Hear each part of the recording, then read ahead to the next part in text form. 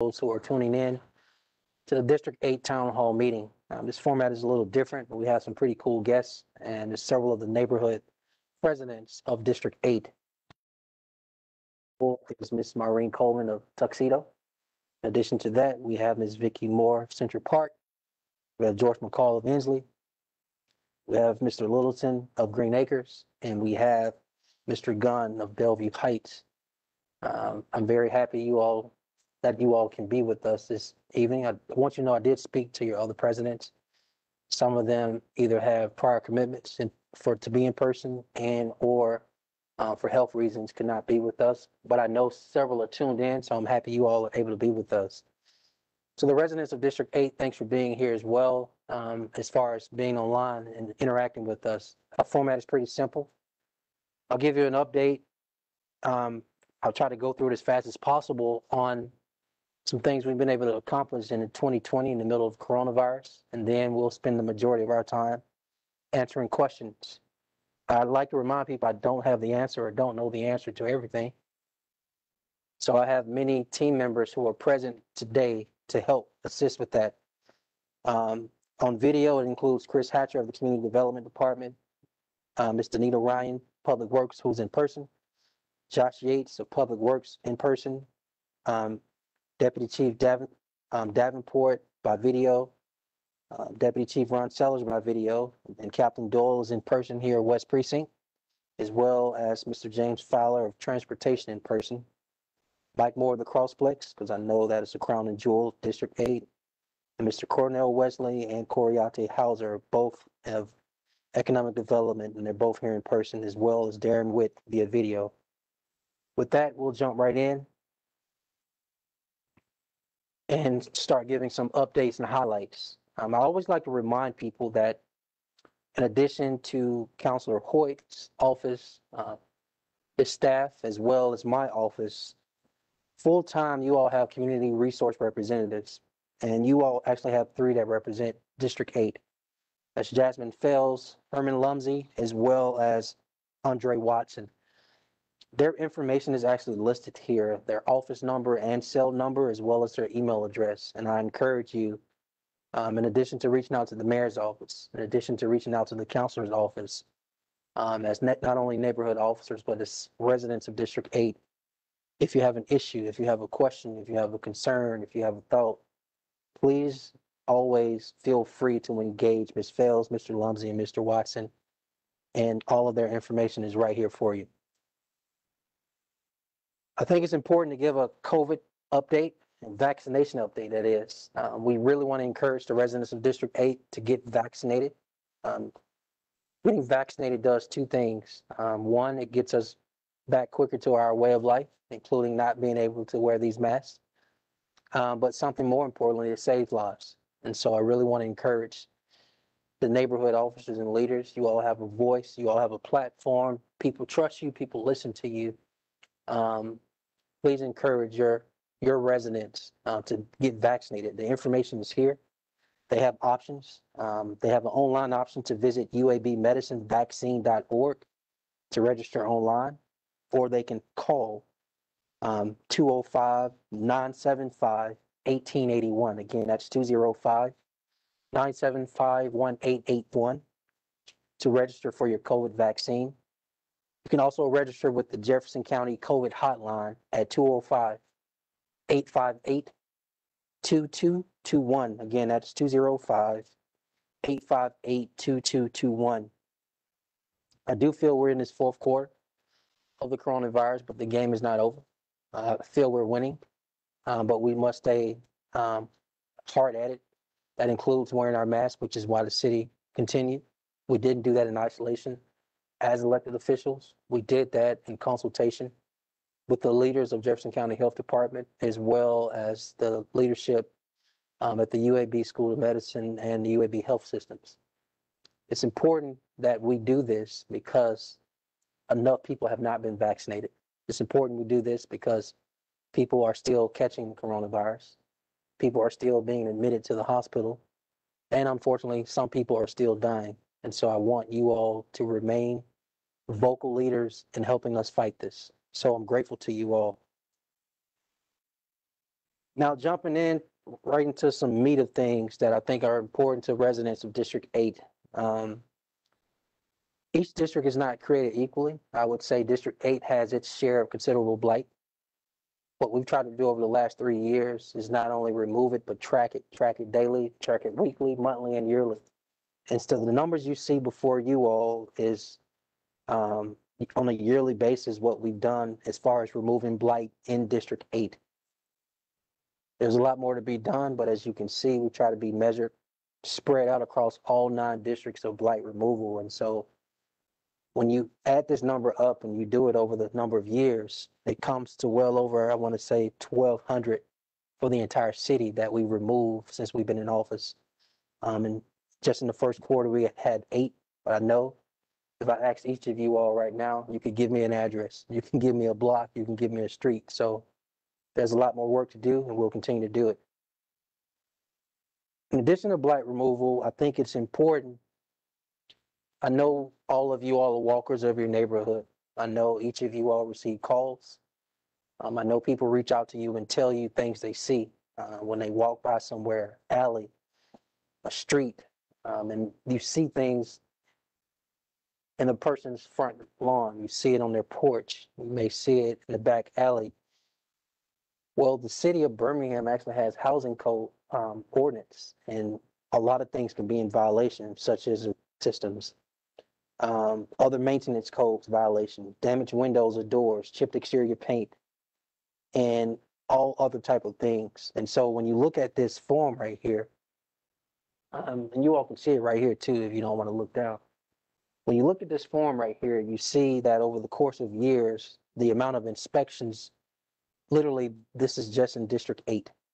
Um, and you see the high number already uh, for the first quarter of 2021. So we will continue to be aggressive in making sure citizens are in compliance um, or compliant with their housing code, as well as if there's anything the city can do to assist. We acknowledge a lot of our our citizens are seniors, senior citizens. We acknowledge some are elder. We acknowledge some of the um, economic issues, et cetera. But we're always here to help. But we do want people to know certain codes exist and want people to not be in violation. Now, um, it's pretty standard. Um, I know people have complained about 311 for quite some time, but we've continued to upgrade it and upgrade it. And so we want people to know when there are issues of junk, auto parts, furniture, household appliances, trash tires, tree trimmings, debris, and all other things you think or know that don't belong, we encourage you to call 311 in addition to those three representatives we spoke about earlier. One of the biggest common code violations is illegally parked vehicles. Residential, residential parking is permitted for operational passenger cars, as we know, but they're not permitted in your yard. We did a sweep I want to say a few weeks back. Um, and it was in various parts of the city. What I can tell y'all is this. Uh, if we don't do something about the violations, people complain. When we go out there and ticket and then three days later pull up with the um, the truck to tow it away, people complain. Either way, it's one of those situations where people complain. But we want to encourage people um, to know the rules. And one of the rules is your car can't be parked on the lawn, especially if it just sits there, doesn't move, tires are flat. Um, it's it's fully yellow now because of the entire month of March. Um, the pollen was not counted to us, stuff like that. So we want to have you as leaders encourage your neighbors. You know, just pick up the phone and say, "Hey, if this car is important to you and you don't want it towed, you don't want it ticketed, we encourage you to get it off the lawn." We have some other ordinances outside of housing codes um, that include zoning enforcement. Um, and some of the breaches include um, using your private residential property for business. Y'all know what I'm talking about, shade tree mechanics. Um, outside storage that you don't necessarily have a permit for, uh, home occupation violations, uh, fence violations, and the one you hate the most, an inoperable vehicle. So when you look at this number, I, I imagine in eighteen, we weren't necessarily tracking, but we started tracking in nineteen, and as you see, um, these are active zoning cases. Um, a lot have been closed out, but these are active. Moving on to another touchy subject that people complain to you all about, and then there's a ripple, you complain to us. Um, and that is cutting grass, weed abatement. This is something we have been tracking for quite some time. Y'all should know, unfortunately, the city of Birmingham has an overwhelming amount of empty lots. Um, y'all know I'm truthful with y'all. Um, I've always stated this, Mr. McCall, you know I've said this. The city of Birmingham, it's not realistic or sustainable to be in the grass cutting business, right? That in this space, that in the area of empty lots, is too many citywide. And Ms. Ryan will tell you, we cut one, um, and then it grows back that fast, but we can't get back to it that fast because we're on in another whole block or a whole nother street, or a whole nother neighborhood, or a whole nother district cutting. And we only have so much manpower on our city side, and we only have so much resources financially on the contractual side for external, um, third-party people to help us cut. What we're doing in twenty-one is different, I want y'all to know this, is a little bit more coordination between um, our internal team that works for the Department of Public Works as well as the contractors. And so, and at a minimum, it doesn't look like spot work, right? You hit a block, you have at least four empty lots, you see two cut and two not cut. That looks crazy. Why is that way? So more communication, and coordination internally with our team as well as the third-party people. We think that's important. But you see the numbers, we do cut, and we wanted you all to know that. Now, this is where I can be playing with y'all because I know you get pissed about it too. I've seen it with my own eyes in each of your neighborhoods. Um, I always like to start with you, Mr. Gunn, in the Belview Heights Avenue I exit for the life of me. Um, I'm gonna be very plain. I hope this doesn't offend anybody. But whatever your economic status is, I'm not sure who taught you when you get to the exit to let down your window and throw out whatever's in your car. Truthfully, I'll never understand that. I also don't understand people who have trash. They take it from their house and put it somewhere else.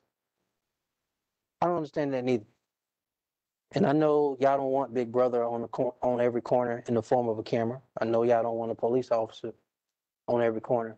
I know you all don't necessarily have a neighborhood block watch captain in every block in your neighborhoods to help you be additional eyes and ears to catch this type of work. But we do want you to know we pick it up, they put it back down. We want you to know we got uh, teams out there who literally participate in and do litter crews, y'all. They're just litter crews only. They don't do nothing else, especially on Saturdays and other days of the week. Um, if you all following us on some of our social media channels, we've actually started sharing the amount of litter we actually pick up. We show before and after pictures, etc. But it's our own people. And when I say our own people, I'm talking about our own neighbors. I'm talking about they they have a trail to a convenience store from their home. They walk to the convenience store, they make a purchase. Bag of chips, drink, and if they finish that bag of chips and drinks before they get back to their home, they just drop it on the ground. And so one of the things we want to do, I talked to Dr. Mark Sullivan. Uh, the truth is, we may can't change our adult behavior because it's too ingrained. The way we deal with our trash, the way we view things. But if we can teach the younger generation around the importance of recycling, um, the importance of putting your trash away in this area, not dumping, not littering, and at a minimum, maybe it's different for the next generation. But that's something we we need to partner with the school system for because sometimes I don't understand the nasty adult behavior, but it does exist. Unfortunately, it exists in your district at a level that kind of pains me, but you've lived there. How many years you've lived in Ensley, sir? Seventy-seven. Seventy-seven. Man, stop playing. Hell, How long you lived in Tuxedo? um, Thirty something. Thirteen, what about you, Belview? Green Acres. How many years you lived in Green Acres? And how long y'all been seeing this type of stuff?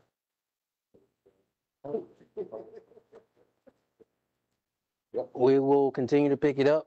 We want to encourage you to continue to call this number, call three one one, call two oh, two five four, six three four four if you see it. We'll get at it. Uh, we continue to get at it, but we want you to know the city is doing its part, but the real, real truth, we need our citizens to do their part too. I know that was long, but I wanted to go through it. All right, at this table, how many people are Ensley High School graduates? Anybody? Nobody. All right, this was a historic school that people should know, black people couldn't go to for a very long time. They had to go to Western Olin. Who went to, who went to jail? All right, boom. Jail in the house. Here's what happened. Um, at some point, I don't know, y'all, if it was the sixties, seventies, or eighties, but we had all these schools. School system owns some, city of Birmingham owns some. In twenty twenty-one, that still exists, especially for the, some of the uh, empty buildings. School system owns some, city of Birmingham owns some. In the case of Ensley High School, city of Birmingham owns that school, not the school system. Um, and that was actually a situation where they did own it. We made the purchase because we wanted to do mixed use development on it, mainly residential. There are people on my team here that can go into detail of that later. Mr. Wesley's here if you want. But we want you to know that there's some movement at this school um, for a development project. Um, and so at some point, we know the site will be cleared and maybe we can go into detail later, but I just wanted to bring that up. I know it's an eyesore, um, no different than Carraway, no different than a lot of sites were, but we're getting movement in these mega sites, um, as, as it relates to revitalization. You see here on page twelve, some of the projected things, again, he can go into detail, but as stated, it's mixed use. Thing I'm excited about is more opportunities for healthy food, so possible grocery store on the site. Um, but we think it complements the area to have this mixed use development in this area. Y'all should know Mr. McCall used to want to beat me up because I, I, I, because I got it wrong.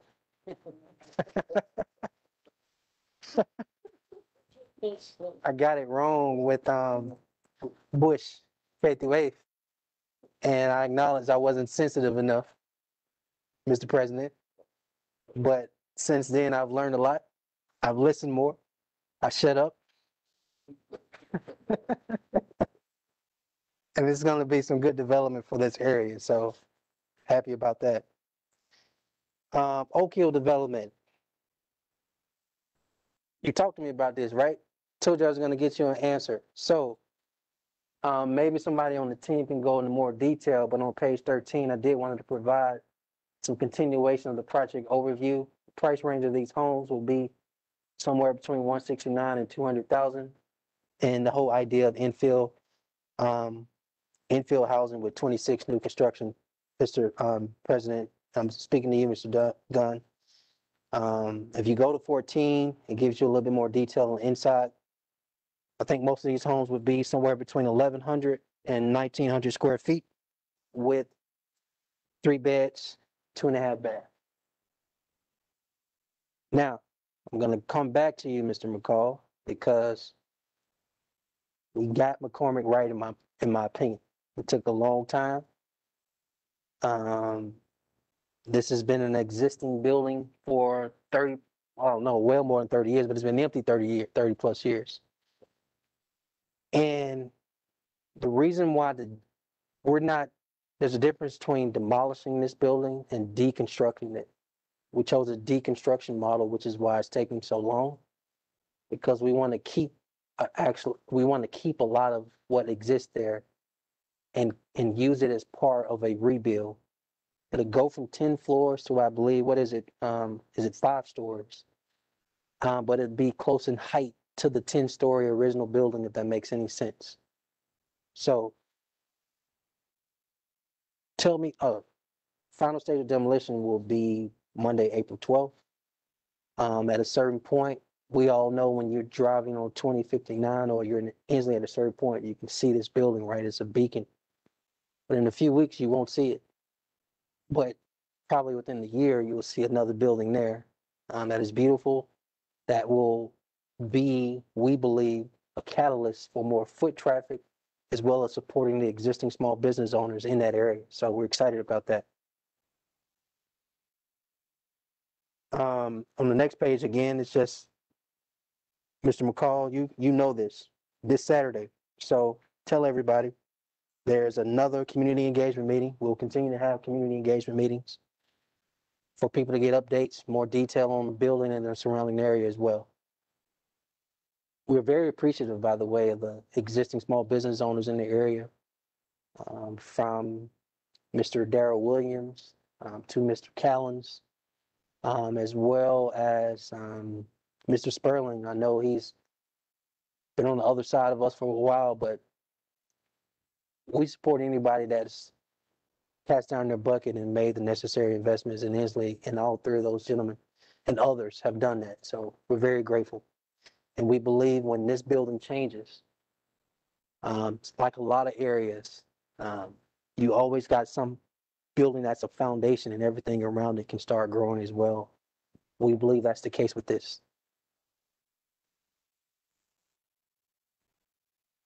Now, we get into a sensitive topic. We're gonna talk about BPD. First thing I want to do is say, Captain Doyle, I'm looking at you. We're grateful to you. Um, I hope these officers, these neighborhood presidents, I have five here, but I hope the other five who could not make it tonight. I hope all ten of you all got Captain Doyle on speed dial. You can get to her. If you can't get to her, you can get to her lieutenants. You can't get to her lieutenants, you can get to her sergeants. Um, but every officer I speak to, and a lot of citizens I speak to, really appreciate your leadership, and I want to say publicly, in front of these neighborhood officers, thank you.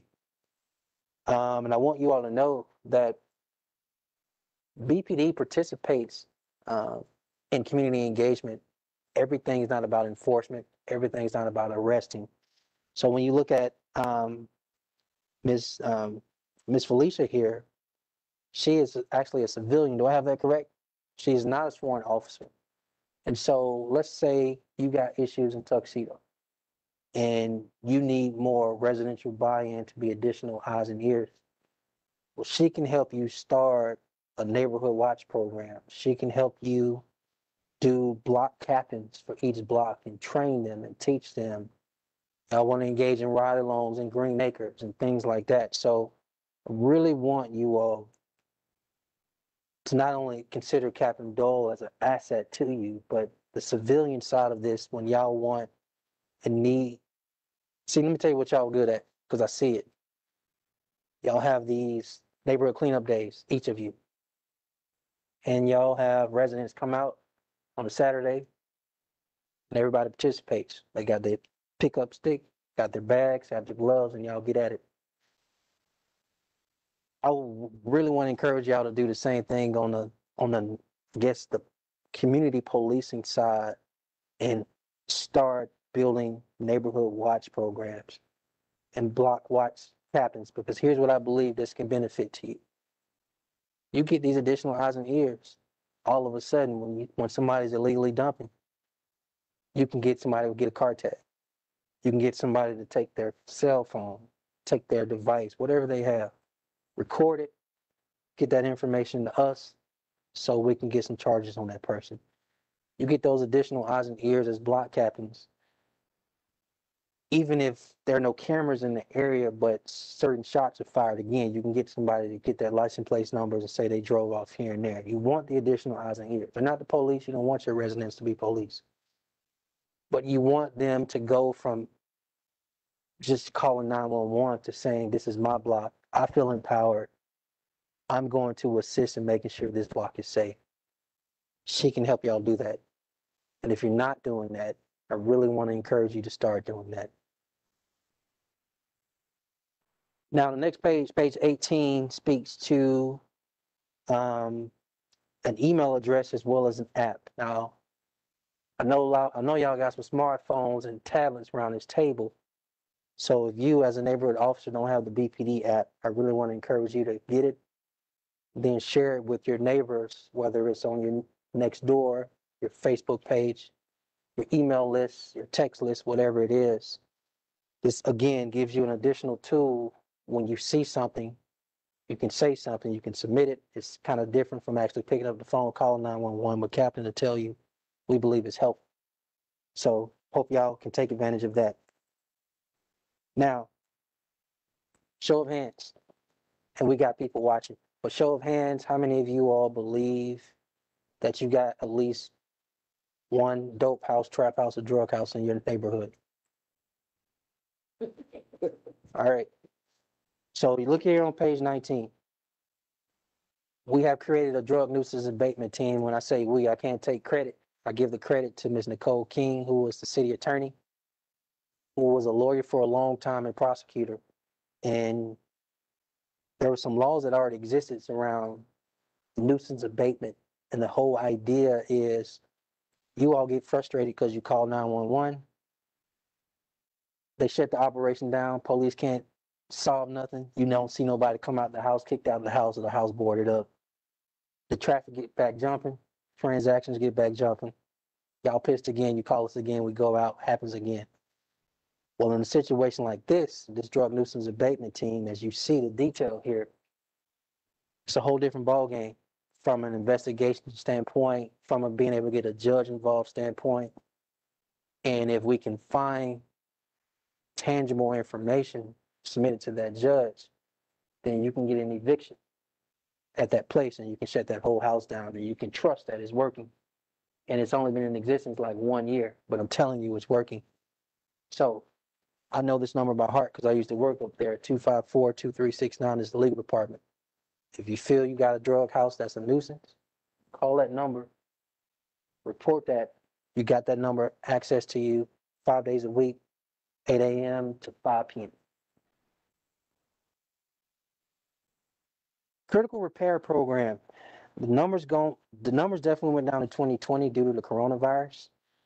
But as stated earlier, when some residents have code violations, we also want you to know a program exists through the community um, development departments with CDBG funds. It's competitive. Just because you apply doesn't mean your citizen, your resident will get it. A lot of it is income based, and then there are a long, long list of people that apply for it. So we get a lot of calls. People upset that says, "Hey, my grandmother applied, mother applied, I applied. Why do I keep getting denied, et cetera, et cetera? Um, but we want you to know for this year, we begin accepting applications uh, pretty much the end of the third quarter this year, September. So just an FYI. That they have besides the ones that's already been in? Yeah, and I, I, I think I can get a team member to explain. I'm going to assume that the whole process starts over. I don't know if there's a, a waiting list. I think you have to restart for each application window. I'll let one of my team members verify because I don't want, never want to misspeak to something important like this. Twenty-one, pothole repairs. It speaks for itself. Um, we want to keep your front end alignment tight. We don't want y'all cursing us out, so there you go. Street resurfacing, kind of same thing. Um, it's pretty much spread out throughout the nine districts. Unfortunately, we can't say in one year we can pave every street in District Eight. Because what we've done is commit ten million a year, and that ten million is spread out over nine districts, but as you can see, what we've done, um, your number is actually increasing in twenty-one compared to what we did in twenty twenty, which will allow us to pave more streets in District Eight, but total combined, you see that we're paving every year. And when you go to twenty-three, for the sake of the audience, um, there are a lot of streets that have been paved over the last three years. We will find a way to get you this information in one of my hats, but I'll, you will get these streets and so people can know that we've been paving in District Eight. When you go to page twenty-four, we talk about streets to be resurfaced not only in twenty twenty-one, but literally over the next two years. And so these streets are already in the queue over for a five-year street paving plan in District Eight. And so No, we couldn't get to every street in one year, but through this five-year plan, you see, we just got to put the money towards it and allocate that. I am happy to tell you, we will be putting another ten million dollars in street resurfacing citywide for the upcoming budget that we'll submit to the council in May. I didn't even see this. Page twenty-five is more streets, so again, it's a lot of more streets to be paved over this five-year street paving plan, and I know a lot of you all got concerns about some streets. You should see some of, each of you all should see something from your neighborhood in here. No different than sidewalks. For the upcoming year, we're gonna invest about hundred and eighty K, hundred eighty thousand in sidewalk repair. And boom, abracadabra, that's it. Uh, my job is to shut up now, I believe, and turn it over to Ms. Sybil, who's gonna quarterback our Q and A. And this is the point where, again, I have team members here that can give you way more of a cool answer than I probably could. All right? Yes, sir. Thank you so much, Mayor, and thank you to everyone who is joining us this evening. A special thank you to neighbors in Belview Heights, Bush Hills, Central Park, Ensley, Ensley Highlands, Fairview, Green Acres, Rising West Princeton, Thomas, and Tuxedo for all that you do. So the first question tonight, Mayor, is a really, really interesting one and, and, and from the heart, basically. The question is, how can we improve the quality of life in District Eight? So I guess I can answer this question. I think one of the things you do is you, I start with infrastructure. I think it's extremely important at a, at a minimum, you do the blocking and tackling for a neighborhood. What is that? You pave streets. You make sidewalks walkable. You tear down blighted, you tear down blight. You, um, you invest in those neighborhood parks in District Eight, right? you partner with Alabama Power and, and put more lights up in that area. So you do those things from an infrastructure standpoint. But that's not necessarily about people, right? That's that's about place. On the people side of quality of life, again, we partner with Captain Doyle, Doyle, and you partner with that um, Miss Felicia, and you get these block captains going and we train them to be additional eyes for you all as presidents to say what's going on in this block. If one person in the block telling you you organize that, you will see crime go down because the the law abiding citizens should be in control and feel empowered, not the handful of people that are committing crime. The majority of citizens in Green Acres and Belview Heights and Central Park and Ensley and Tuxedo do their part and are law abiding citizens. You all should be, you all should feel good about running away the people, the small amount of people that are doing bad. You're in control. You have more power. You have more numbers. You should exercise that. But in addition to that, you know, quality of life, for me, what does that look like? I got to get a grocery store to District 8. That's something we've been working on for three years. You all should know. that I've been, we've been told no more than yes, several different, um, several different grocery stores. And the truth is, we'll continue to let people tell us no until we get to a yes. The point is, we'll keep asking and engaging and brokering and negotiating to get a grocery store because I believe healthy food hits directly at quality of life. And then the other thing is not enough to just tear down houses here. I think infill housing y'all don't want us to just keep cutting grass in eight. You want us to build up homes, single fam, more single family homes in District Eight. I- The more homes we build, the more families we have in eight, and I think that improves quality of life. So I know that's a long answer, but those are just some of the examples of not just place, but people as well. Thank you so much, Mayor. We also have a question along those same lines about the grocery stores. And the question is, can you develop the old Winn-Dixie store into a sit-down restaurant with a sports bar, grill, or anything? Yeah. So the truth is, I wouldn't mind that. I'm open to anything.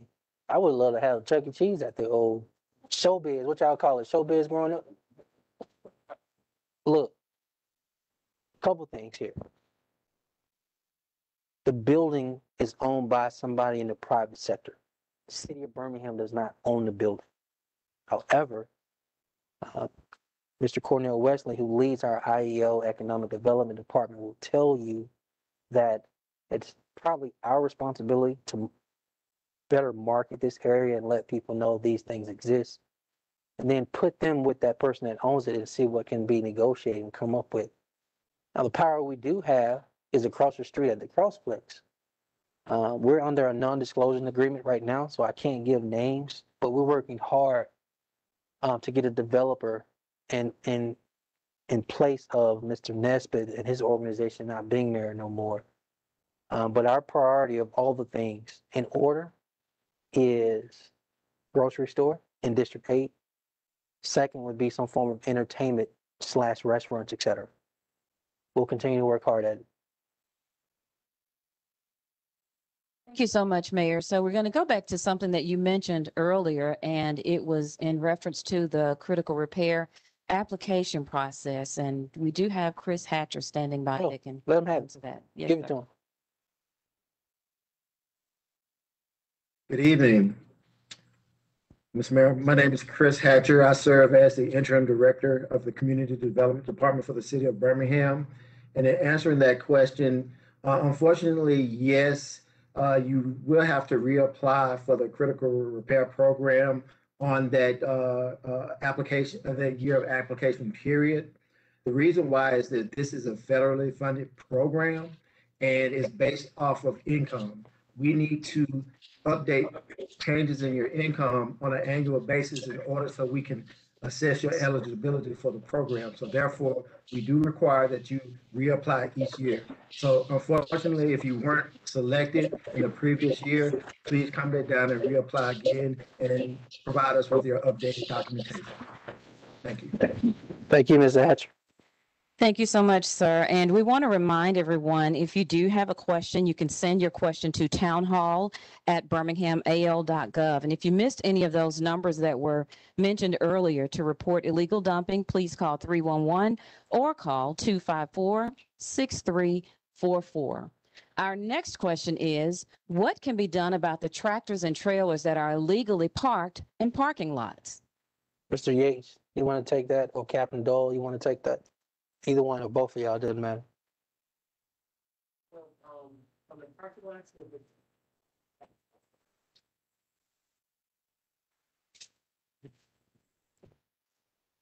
As far as the parking lots are concerned, it being private property, we would have to have the owners to assist in the enforcement of that. Um, so we would, um, try to contact the realty, the realty owner, the, the property owners. Sometimes we can get letters of permission from them and we can actually enforce, enforce ordinances and violations on their property. And we've done that in Five Points West. I think we have one of the, um, one of the realty owners that we have a letter on file that gives us permission to do that. Um, I don't know specifically the location that they're speaking of, but if we can get that, we can, we can see what we can do about it. Got We'll address it. Thank you, Cap. Still, just encourage them, if they have addresses, to email or text them or call them into us so we can get that information to Captain. Yes, sir. And everyone, please send that to townhall@birminghamal.gov and we will be glad to get you an answer for that or get it taken care of. The next one is a DPW question and it is, what can be done about clearing the alleys so that our DPW trucks can actually get through them? That's you, Mr. Yates.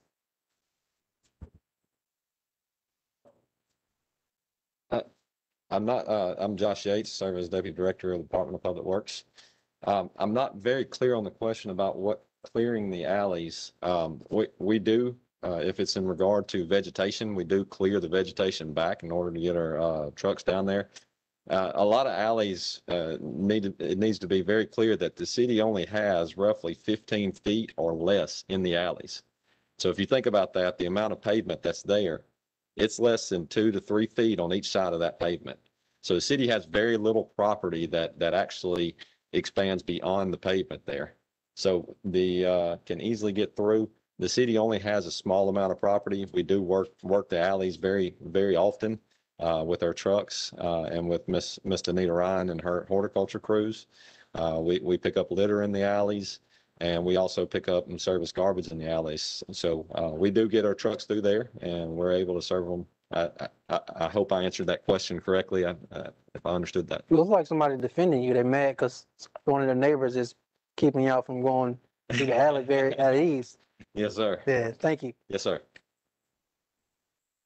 Thank you so much, Mayor. And we also want to remind everyone, if they do have some things that they need to take to the landfill, you can call the Eastern Area Landfill at 205-655-3391.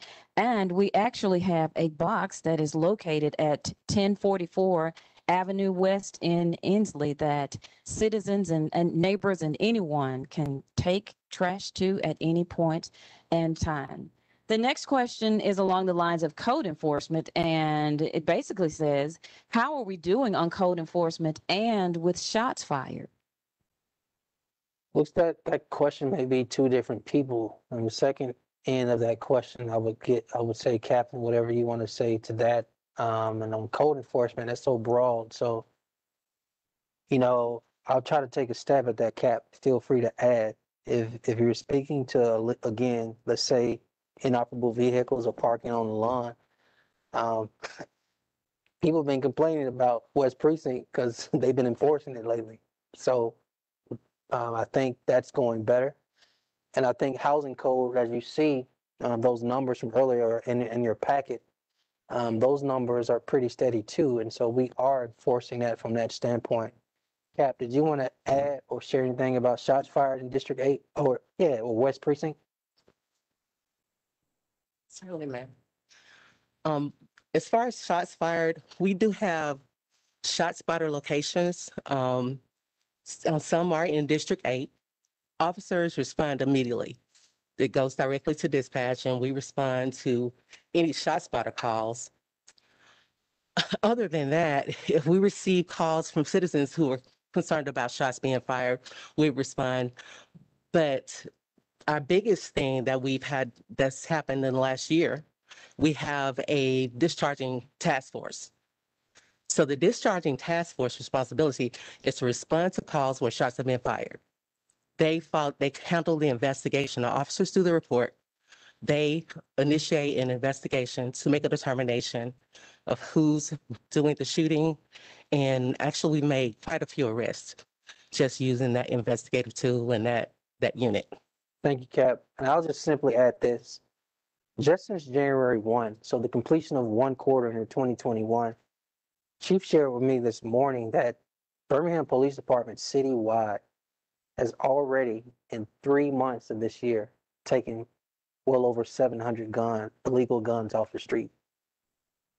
Y'all, we take them off and they get, they get them so easily, like it's, it's, I, I don't, it's hard. And I mean, in America, there's a gun culture. We try to do everything we can, taking illegal guns off the street, but they just get them back that easy. I mean, when you think about that, 700 guns, 700 plus guns in three months is a lot of guns. So Thank you so much, Mayor. We also want to thank everyone who's watching on Facebook Live and to let you know that we are getting your questions. And this one um, is around uh, some facets of DPW. And we can have Ms. Ryan, if you're available, to also talk about DPW in relation to code enforcement and to tackle the second part of that, which is who do I speak to about growing a community garden? Ms. Ryan?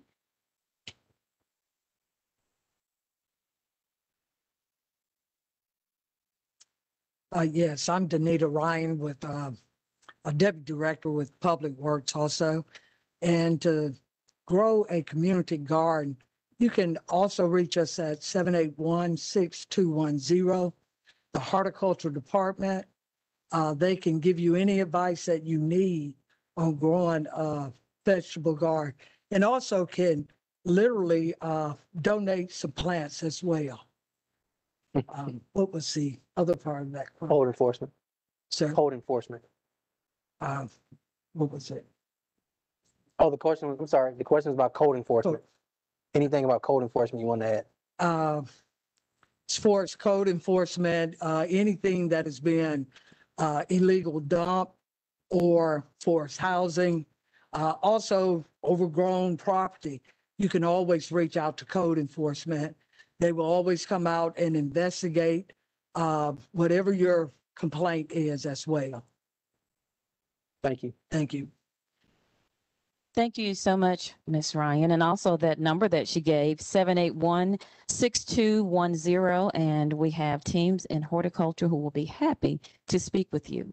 This one, Mayor, is a, an excellent question. It says, as neighborhood leaders, how can we better connect with our residents since we still cannot meet in person? And also, is there an email list available? Is Alice here? Yes, sir. So as Ms. Alice Williams comes in, everybody, she's the, uh, one of our deputy directors of community development.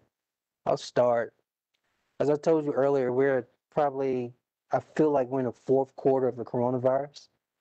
As you see in this room, um, we got measures in place as far as facial covers. And so, you know, there are a lot of different things neighborhood officers can do around how to still stay in contact with their residents, which is the question, how do they stay in contact? Good evening. I'm Alice Williams and I serve as Deputy Director of Community Resources. Um, we recommend that, um, first of all, we reach out by phone calls to our neighborhoods, our friends and our families. We also do Zoom. We do WebEx. We do Facebook. We also reach out through our Office of Community Resource Services. So if there's anything that you want us to get out to the neighbors and residents, we post those on our sites. And we just ask that you reach out to the one right next door to you. That's our best way to communicate right now. The Second part of the question, I believe, is there email lists or email addresses?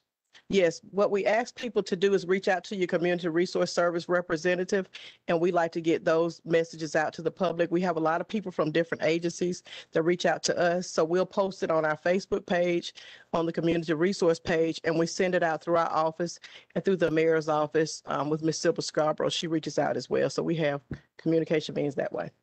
Thank you. All right, you're welcome. Well, just to clarify, all neighborhood presidents, y'all receive the emails Ms. Silva sends? All right. Silva, they get your emails. That's good, Mayor, because a lot of hard work goes into that. We put our heart in that stuff that we stand. So yes, Mr. McCall responds quite often and, uh, yes, thank you, neighborhood officers. So the next question of the evening is, what ways can we help each other when crime incidents happen in Ensley Highlands? And there's a second part of that that also says, how can we improve the engagement between officers and our neighborhoods? So that's a public safety question, Mayor. Yeah.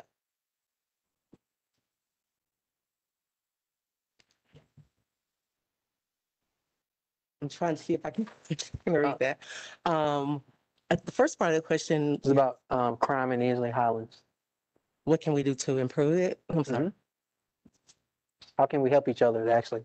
How can we help each other? Yes, I'll Very- read that again. What ways can we help each other when crime incidents happen in Ensley Highlands? That's the first question, Oh, Captain. Okay, very good question. Very good question. Um, one way is to, if you see something, say something. Keep your eyes and ears open. I, um, I, we have a task force at West Precinct. And what their focus is, is whatever complaints I receive. Daily I receive complaints, I send them to that, to that area to address those complaints. So believe it or not, many of our narcotics complaints come from come from citizens. Officers are riding, they'll stop cars, they take guns, they take um, drugs, but most of our citizens give us the biggest um, complaints, the most complaints. So the best thing to do is say something. We have in West Precinct in District Eight, I think about eight, at least eight um, search warrants have been conducted in that area most of those came from citizens' complaints that we followed up on. So that's the best thing to do. Um, to be our eyes and ears because most criminal most criminals won't do criminal acts in front of us. So um, the second part is Thank you so much, Captain. That second part is, how can we improve the engagement between officers and our neighborhoods? in the time of COVID, that's a difficult question. Um, outside of COVID, we started, we implemented coffee with a cop, coffee with a captain, which I would really enjoy at this time, just to get to know everybody. So we are doing some, there's some Zoom meetings I know that Ms. Watkins is doing with the neighborhood, um, the neighborhood presidents. And we can continue that. I'll try to engage and be on more of those. But, um, outside of COVID, as soon as we get a little more open and uh, this disease behind us, we'll develop some, some more things that are community oriented. Yeah, and just to add to what Cap said, I'll repeat what I said earlier. Through the, I- and I'll just challenge the neighborhood presidents, through Miss Felicia, y'all, I would, I would, you get them block and going. They're responsible for literally looking out for the block during certain, their time period, and they help you run the play. And literally between you all, that block captain and captain and her team, I believe y'all can suppress whatever y'all want. I mean that. I'm not just saying that. Thank you so much, Mayor. And the next one has a couple of items in it, and it was something that was addressed earlier in the PowerPoint, but it basically says, can we have code enforcement address the following? Parking on lawns, parking on city right-of-ways, removing peddlers from selling goods along the commercial corridor, and so forth. So I think I can take this one. Yes, The sir. first points, um, A and B, parking on lawns and parking on city right of way. Again, we've started enforcing that. And a lot of people are being agitated when they come out. The car's been sitting there for three years, nobody's paid attention to it, and all of a sudden they see a tick, they see something, a sticker on it. I actually got a call from a citizen who literally says, this car is in my, this car has been here these many years. Why are you all want to do something about it now? And I said, it's easy citizens have told us, please enforce, please enforce. So that's what we're doing. So let us know if you need some help with the car. Um, or it'll be towed or something else, you'll be brought to court. I think the other parts of the question, if somebody can help, me- oh, About abandoned vehicles. peddlers. The biggest two things we got right now, everybody, is these car washes that keep popping up and food trucks. Now, let me speak to the food trucks. There's already an ordinance that exists about regulation of food trucks. I'm actually pro food truck, but I think in certain spaces where they are, how it's conducted, et cetera, you need sa- safety measures, right? But the other, the biggest form of peddling that we've seen lately, man, y'all, the, the if you just have a car wash and you don't have a, a business license, or something like that, run off water, trash, et cetera, et cetera. There are a lot of different forms of peddlers, but the reason I'm bringing this one to your attention is because people keep bringing it to ours. So what we've done to enforce now is um, the combination of um, our business license team with BPD to go out and investigate and cite and or give warnings about you have to come into compliance. If you don't, we're ready to prepare to shut you down. Ms. Silva? Yes, sir, Mayor, and thank you for that answer. The next question, what efforts are being planned to revitalize our neighborhoods and communities in Five Points West in preparation for the World Games and beyond? All right, go ahead. Sounds like a Miss Dora Sims question. Hey, Miss Sims. Uh, and you know Doris Sims don't play, Mr. Mayor, so. Good, good evening, Kelvin Datcher. I serve as Director of External Affairs, Government Affairs for the City of Birmingham. So the, the- World Games is an extraordinary opportunity for Birmingham to showcase its growth over the last several years to the entire world. Um, just recently, they signed an agreement, a national broadcasting agreement for a certain number of hours. There's also a global broadcasting agreement. So people will be able to see Birmingham in a way that they can only imagine the, the growth that we've had. So the, the mayor's already authorized and directed us to do several things. That is to make sure, one, that the um, venues in our communities are showcased. Chief among those are the Crossplex and Legion Field. They will be home to major events during the World Games to attract folks into those communities and to showcase who we are uh, as a city. But more importantly, the mayor has also said that this is an opportunity for us to invest in our community. How do we invest into, into black-owned businesses, particularly around, ar- along the Third Avenue corridor? We will be working directly with those folks through facade grants and other opportunities to invest in their in their businesses, to make them shine, make them beautiful, to give them the kind of infrastructure also so they'll, that they can succeed. Because someone may be great at frying chicken, but they may not be great at balancing their books. So how do we make sure that that business that sells great chicken also has a tight financial operation in the, on the back end? The mayor has authorized that to happen. Um, the mayor worked very closely with Congresswoman Terry Sewell on the American Rescue Plan. The city will be receiving over two years, $148,820,000. The mayor has also already directed those dollars to be invested into our 99 neighborhoods.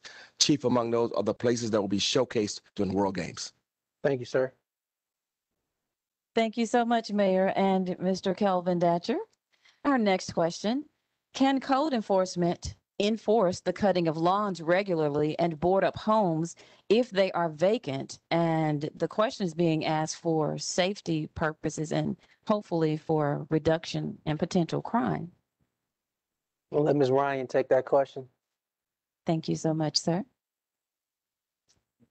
um, as the mayor has said, uh, you know, when it comes to cutting lots, vacant lots and so forth, uh, something that, uh, actually is more grass out there than it is us. But code enforcement can go out and write up the property, uh, do weed abatement on it and process it out, uh, take the, the owners to court. But in the process of time, um, we also like to go in and as it have been written up, we go in and we will cut the property ourselves. But code enforcement can always go out to handle a problem. When there's a problem, overgrown vacant lots, abandoned buildings, that if you reach out to code enforcement, they will come out and they will inspect it, write it up, and then they will process it through the courts. Thank you. Thank you so much, Mayor and Ms. Ryan. And someone would like to have an update on the Belview Heights Gateway project from Fairfield. Yes, Mr. Um, Mr. Gunn, I told you I was gonna get you an answer to that too. Is, is either one of our team members here, Mr. Ravel or Ms. Bell? Oh. Hey, Brother Witt, can you hear us? I can. You got any update on the, um, the Gateway project related to Belview Heights? I got, I told Mr. Gunn I was gonna get him an answer. Mr. Gunn, uh, how you doing, sir? First of all, hello, Mr. Mayor. Uh, let me get my video on. Hello, Mr. Mayor. Uh, what I want to do is this, Mr. Gunn. I'd like to, uh, take a deep dive into that right away for you. I, I think that it's an ongoing process with Denise Bell as well as Edward Revelle. But I'd like to give you my number personally so I can give you the satisfaction that you deserve. My number is 254 2224. And I certainly was not sparing the effort in giving you all the information that you need about that. I think that is ongoing. I'd like to give you solid information about that. So give me a call, stand ready, and hopefully you'll give me your number so I can call you if you don't call me. Okay? I'll get it to you. I'll get it to you, Mr. Witt. Okay. Mr. Gunn, I got some good news. Um, in conjunction to what Mr. Witt has said, which he will follow up with you. I actually did receive an email. I should have just pulled it up. Um, but it's fresh. It says, uh, for your knowledge, we ran into a slight roadblocks, roadblock surrounding the offer process used for many years. Um, legal is now reviewing and advising. So I think one of the properties that we are not in control of is wrapped up. However, there's some additional information in here. Could you please share with Mr. Gunn that we're wrapping up closing process? Funds are in place and staff is reviewing the bid package while we wrap up the closing process. Unfortunately, right now, we don't have an estimated time frame because we still have that roadblock related to um, the offer process for one of the properties. Um, but we're pushing to start either late summer or early fall. Um, it's definitely in the capital projects queue. And so I just read you word for word the message I received. Is that satisfactory, sir? Or is that a satisfactory, satisfactory answer? We'll get you, we'll get you with Mr. Witt and we'll keep some information coming to you. Mayor, we also have Mike Eddington on the line with PEP who can address some more about that issue. Mike, can you hear us? Good afternoon. Um, This is Mike Eddington. I serve as city engineer. Uh, what I'd uh, put in the message box that I could answer that, I think the mayor covered, that we are just uh, very close to wrapping up the right-of-way um, acquisition, for this, including temporary access easements, and we'll be bidding this out in the coming months. Thank you, Mike. Told y'all, tell Mike, Mike, do not cut your hair, sir. Thank love you. Yes, sir. Thank you, sir. It's always good when we can get real-time answers. So we appreciate that, PEP. Next question, and we have a lot that are coming in from Facebook. Is blue top on top of homes illegal? Mayor? It's a good question. I'm tell you, I tell you, I don't know. Y'all know I'm gonna keep it real with y'all. I, I don't know if it's illegal. Here's what I do know. Um, if I use the most recent example, what happened a few weeks back, unfortunately, in the Roebuck S- Springs, South Roebuck and Southeast Lake area, there were a minimum of 120, 130 homes damaged. And if you go there right now, many of them have blue tarps. The question I, I imagine is, how long can they be on your roof, right? I don't know the answer to that. And if it reaches a certain point, is that illegal? Again, I don't know the answer to that. But whoever asked that question from Facebook, if you want to send us some additional information as far as who you are and or an email address or a number, let us walk down a, a honest, ge- genuine answer for you um, and find out. And so um, I'm saying all those words and I don't know the answer. Good enough, Mayor. And to the person who did ask that question, why don't you reach out to us at townhall at birminghamal.gov and we will work very hard to get an answer to you as soon as possible. So the next question, recycling, recycling, recycling. And someone on Facebook would like to know, why aren't recyclable materials being picked up? Mr. Yates, you the man, sir.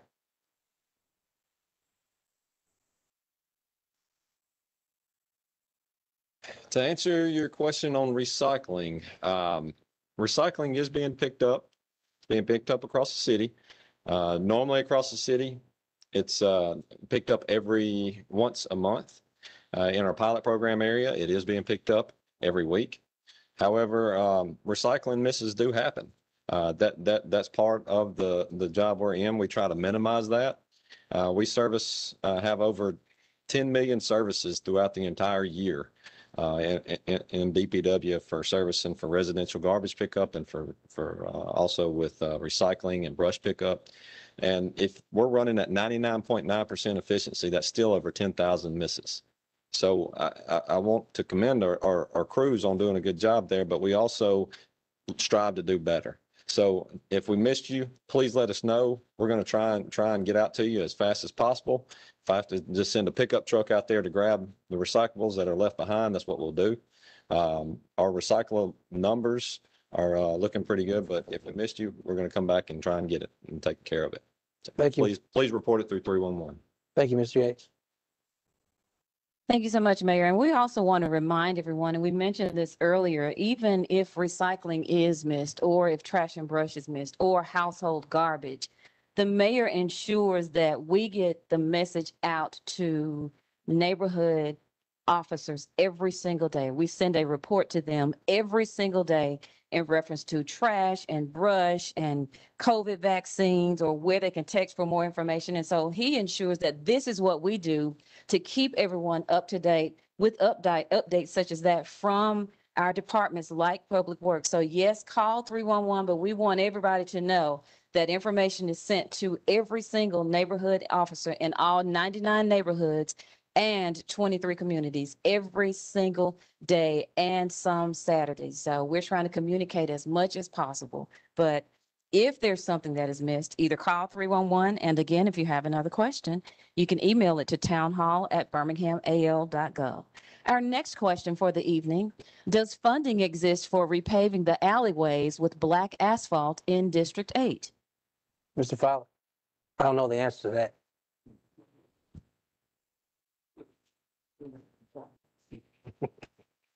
Uh, that's a, a great question, actually. Um, my is James Fowler. I serve as the director of the Birmingham Department of Transportation. And where we've started with all of the deferred maintenance um, that we have in all of our infrastructure, so is, is first trying to make sure that we're making a consistent year over year significant investment in resurfacing of the main roadways. Uh, but we recognize that a lot of those alleys are in really tough shape. And um, I know I've got one behind my house. And so um, as we continue to make investments in the resurfacing of the main roadways, our plan is to uh, expand that into the alleys because I know that that's a critical need. Um, hopefully, as we're looking at potential funding in an infrastructure bill, that'll um, move us faster along in that process. Uh, but our first starting point is investing in the main roadways. And so um, alleys are definitely on our radar. Thank you, sir. Thank you so much, Mayor. And we also want to give out a couple of those numbers again, in case you're just joining us. We mentioned earlier about the Jefferson County Vaccine Call Center. You can call 205-858-2221 or to register for your vaccine, your COVID-19 vaccine, call 975-1881. And just in case you mentioned when we were discussing earlier about drug nuisance properties, you can call 254 2369 and someone with the mayor's office will be happy to assist you. The next question that has come in, it says, will the city contact business owners of property across from Enterprise Rental Car in Ins, on Ensley Avenue to work out details of parking their 18 wheelers off the area in the I-59 Ensley exit? The answer is yes. That's the short, shortest answer you'll get tonight. Phil and I'll make a, a, a, a personal visit. Would that be you and Kelvin Datcher, sir? Yeah, we're pulling up. Yes, sir. Thank you so much, Mayor, and thank you so much, uh, Mr. Datcher. Um, Revitalization, uh, question is, can we have DPW do biannual cleanings of our alleys and in our neighborhoods?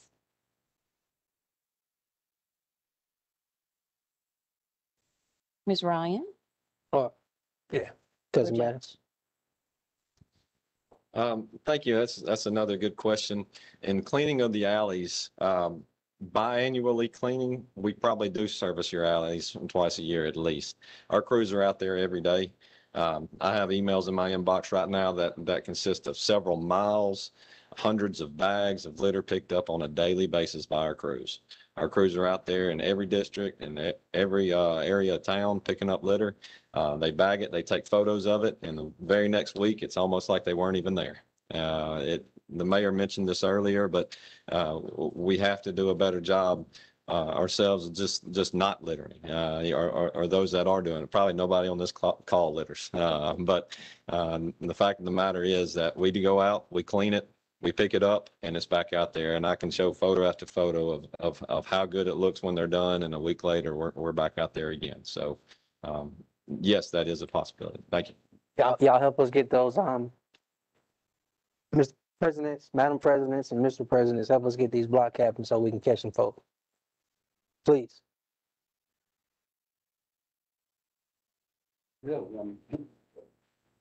Oh, we're gonna chop it up as soon as it's over, Mr. President. I got you, sir.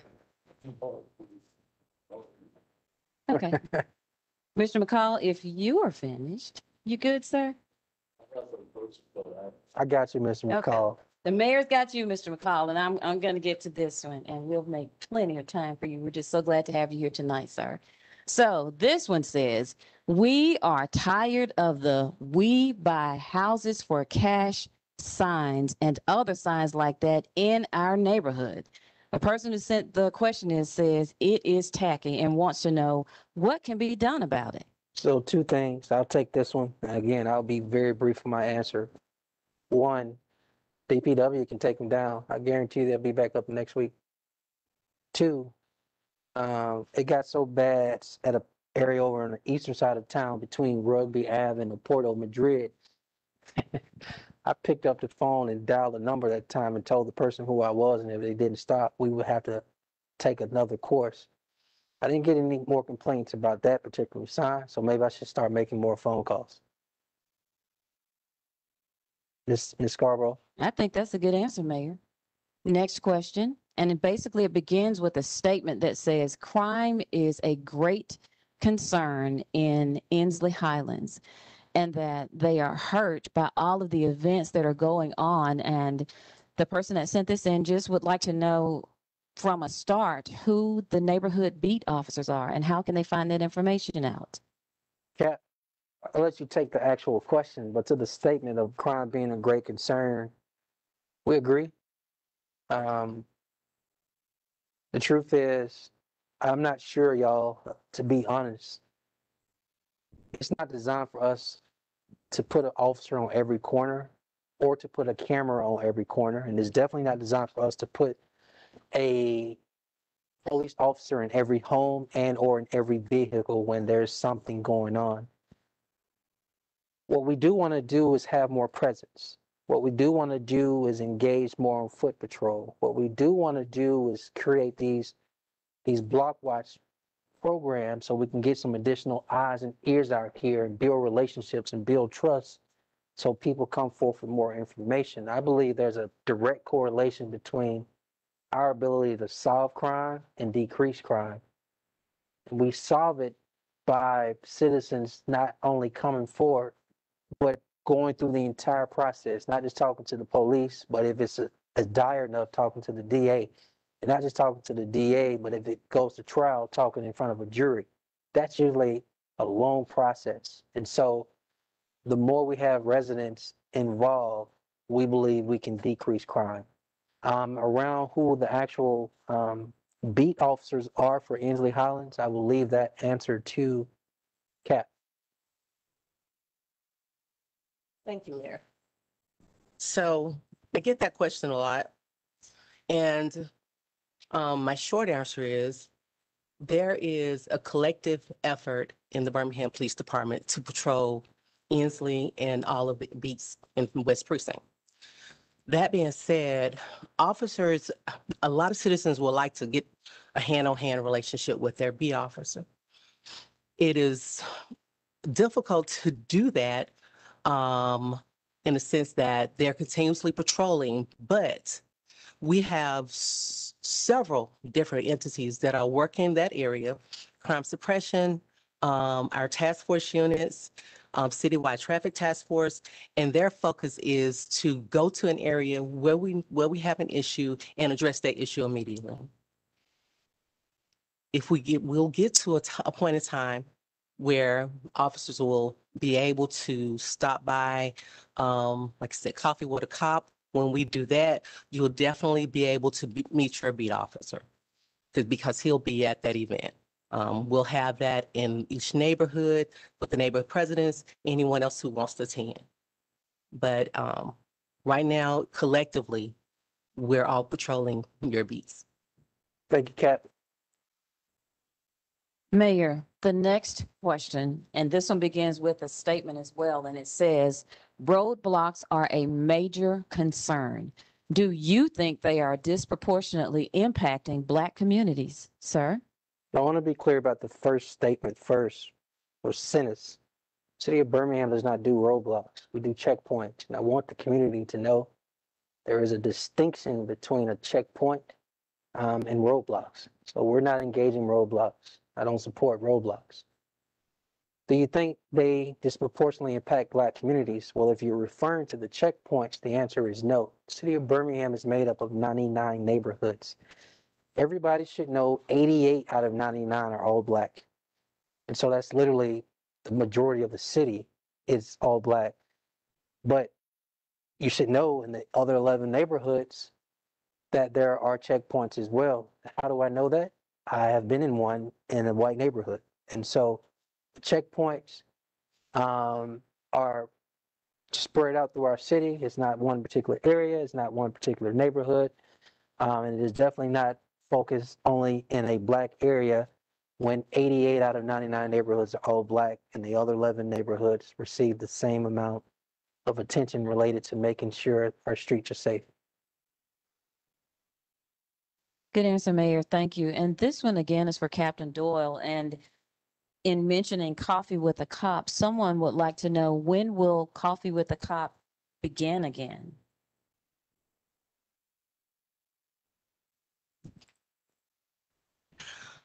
I wish I could give a specific date and time. Um, right now, like I said, our major concern is COVID. Um, I know restaurants are open, but still there's social distancing in their restaurants. So as soon as we get an all clear that it's okay for us to um commingle, we'll, we will get it started. I'm ready to put, it's actually on my calendar now, but each month I strike it out. Not yet, not yet, not yet. But um, I, I assure you it will happen. I look forward to it. Gotcha. Ms. Silva, before we close out and I get some time with these neighborhood presidents, um, everybody, I want you to know we have a new director of IEO, Economic Development. His name is Cornell Wesley. Um, he is a gift of the city. He is a son of the city. And there haven't been a lot of conversations or questions around economic development, particularly as it relates to the western side of town in District Eight. But at a minimum, I would like to give him the floor to share anything he would like around this topic, anything you want. Well, I think. We probably get you to come up here. I'm certain uh, a lot of people are curious about what our preparations are around the World Games in that specific corridor. I can tell you that our department has convened, or rather commissioned, a Corridor 11 study. That study looks at a six-mile track of what we know as Bessemer Superhighway Corridor 11, and not just looking at the aesthetic, not just looking at how it looks, but also the infrastructure needs that are needed for for long-term um, growth. So we're talking fiber, we're talking not just lighting, we're talking the water sewer going from six inch to eight inch, and the appropriate things that these businesses who occupy Corridor 11 need for their own expansion. And so again, as we're prep- preparing for the World Games, this study is not just a study or research, it is for something to be in fact implemented. We're working across all departments within the city. This is not just an economic development effort. It is a city effort that we hope will be able to promote and, and encourage transformation for that corridor. And one more thing, brother. When I talked to these five neighborhood officers who were present, the other five who are not here, and especially this young lady over here, Ms. Sims, uh, who's over the business district for the Angeles area. If I took away everything they talked about as far as they want, need, desires, grocery stores, I have shared the challenges, um, but you are new to the team with fresh eyes on this topic. Anything you want to leave them related to our effort? Absolutely. I can tell you that our goals are the same. We too want a grocery store in your in your in your neighborhood. Uh, we're we're moving aggressively and and with a partnership with Mastercard, we're now able to track the spending habits of people who originate from that zip code and build a case to these grocery providers of where the dollars really are. So now we actually have the data points to, to illustrate the demand that exists in your neighborhood. So now when we go and have these these conversations with the Krogers and the Aldis of the world, we have an informed why of why you should be in this city and why you should be in this corridor. So we are going to be aggressive, we're going to be intentional, and now we are informed with why they should, and we're going to make sure we transform and, and translate that information appropriately. Thank you, brother. Look, y'all want him to get a benediction too? I was just playing, brother. Take a ball.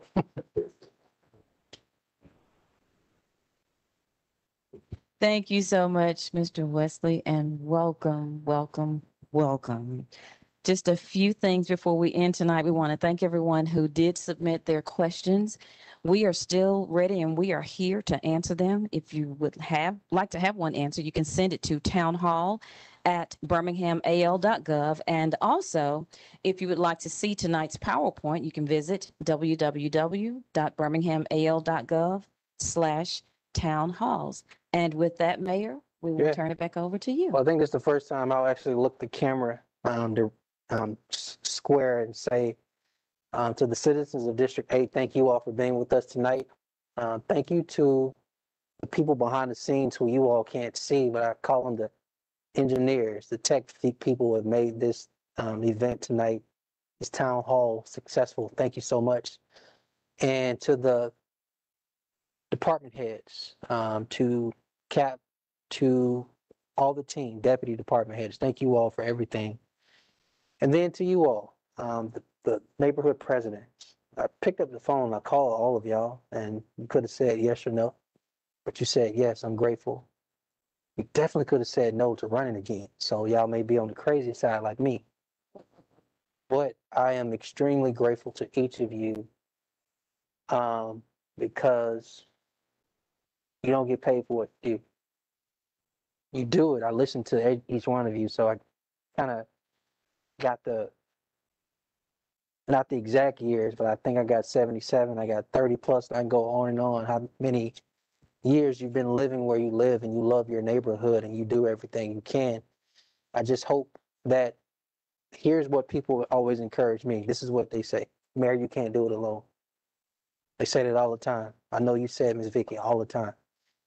Well, I want to say the same thing to you all. You can't do it alone. And by the way, it requires more than your vice president and your secretary. The three of you all can't do it alone. However, we can be of assistance. Don't hesitate to call us, text us, email us, come pop in, see us, whatever it is.